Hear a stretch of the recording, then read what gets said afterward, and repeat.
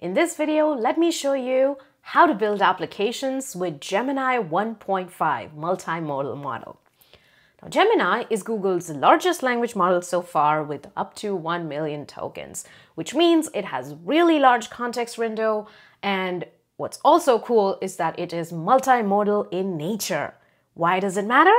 Because it means that we can create applications that humans like to interact with.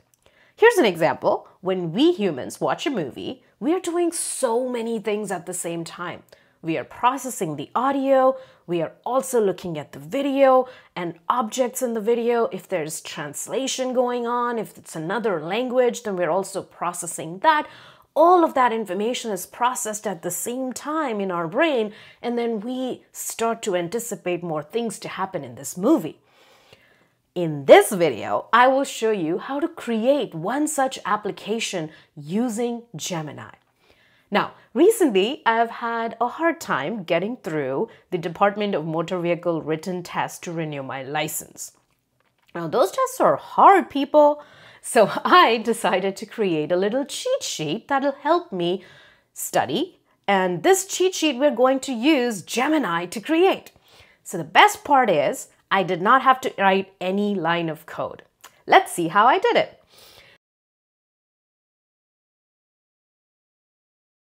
So here we are in Google Cloud Console in Vertex AI dashboard. Now, Vertex AI is the end-to-end -end platform to build and run AI applications. Here we see Try Gemini 1.5 right here on the dashboard. I click on that and it takes us directly into the multimodal model right away. Before we create our prompt, let's see how all these multimodal components that I need to create this prompt come together. So I recorded a quick audio for context that, hey, I could not clear this test and it needs some more preparation. Then I have a sample test PDF file with questions and answers with the images of some traffic signs in there as well.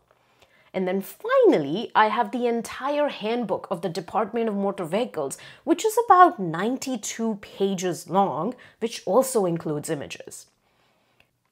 Now back into Vertex AI dashboard, creating our prompt here, I provide all these components, the audio file, the handbook manual, and the sample question answer document. And then I am asking the model Based on these files and the text from the handbook, create a few multiple choice questions with clearly marked answers. Use my cheat sheet as the format for those question answers. And with that, we can go ahead and submit this prompt. Now notice, this prompt is about 37,000 tokens. If you don't know what tokens is, let me tell you. Tokens are the basic units of data that is processed by large language models. Now, in context of text, a token can be a word, a part of a word, a subword, or even characters, depending on the tokenization process. Now, these are a large number of tokens, which takes a few seconds to process. And while that is happening, we can rename our query,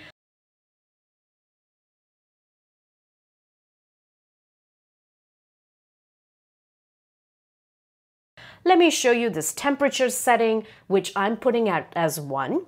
You can keep it between 0 and 2. The lower temperature is good if we expect true and correct responses. Now, if we want creativity and diverse responses, we can choose higher temperature.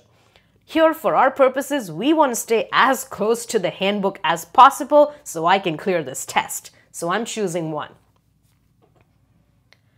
And there we go are sample questions with answers. That is amazing. Now, if I want to generate more, let's say 100 questions, we can edit our prompt accordingly and then use this get code button to use the Gemini API. I click on open notebook button and we have our entire code in a notebook ready to be executed. How easy and convenient is that? I did not have to write any code, any of these import methods, or even have to figure out how to call Gemini in code. Now I'll connect my runtime, create runtime, and connect it, and then confirm that the runtime is connected. Now, once I have all that out of the way, I start executing my cells. We start by installing an upgrade of our Vertex AI platform.